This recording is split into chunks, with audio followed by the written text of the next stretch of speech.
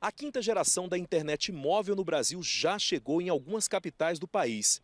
Na última sexta-feira, foi a vez de João Pessoa, Porto Alegre e Belo Horizonte receber a tecnologia 5G. Goiânia está na lista das cidades que devem receber o sinal já em setembro. A tecnologia é bem mais rápida do que a que temos hoje em dia e vai permitir a conexão mais rápida de vários aparelhos ao mesmo tempo em casa ou no escritório.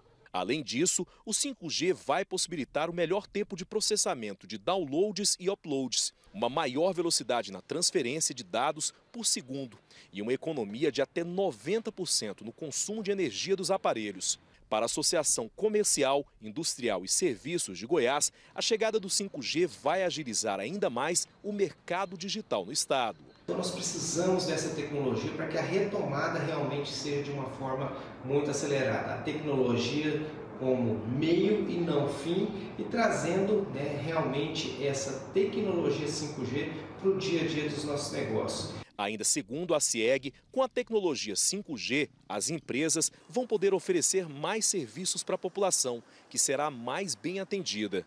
A população tenha mais serviços, o consumidor seja muito mais bem servido e as empresas elas tenham mais disponibilidade de aumentar aí a sua rentabilidade, gerando emprego e renda para todo o estado de Goiás. Em Goiânia, segundo a Secretaria de Planejamento, existem 22 antenas prontas para a tecnologia 5G, que ficam nos setores Bueno, Vila Concórdia, Vila Teófilo Neto, Nova Vila, Setor Moraes, Jardim América, entre outros bairros.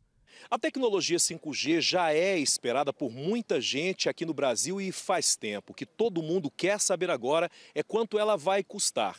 Bom, essa é uma resposta que nós ainda não temos, mas a média mundial indica que a tecnologia 5G aqui no Brasil deve custar entre 100 e 150 reais mensais o pacote, que pode ser até limitado.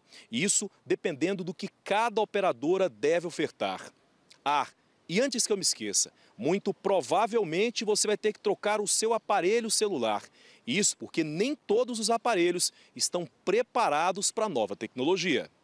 E tem gente ansiosa para a chegada do 5G, mas preocupada com ter que trocar o aparelho celular. Às vezes melhora a tecnologia, mas e, por um lado para o usuário não é bom, né? Porque tem que gastar. Vem para ajudar, muito bom. A expectativa para que melhore. Para que melhore.